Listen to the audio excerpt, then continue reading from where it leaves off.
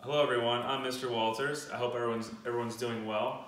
I'm here to show you a very simple catapult project that I made at home using no tools. Uh, I made this out of cardboard, a bottle cap, a pencil.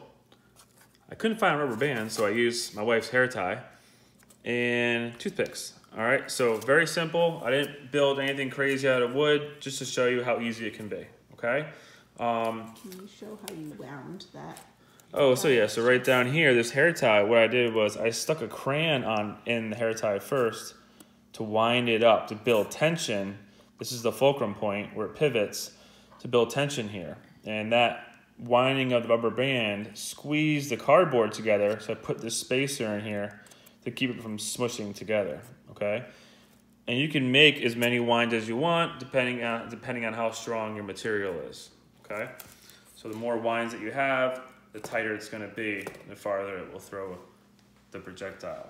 Okay, so I have my tape measure here set up. I got my target I'm gonna shoot at to try to knock it over.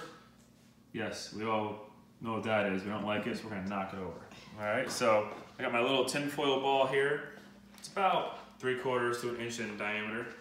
Okay, all I'm gonna do is put the ball inside the bottle cap, hold my catapult, bring it down, and then I'm gonna shoot it into the COVID-19 sign.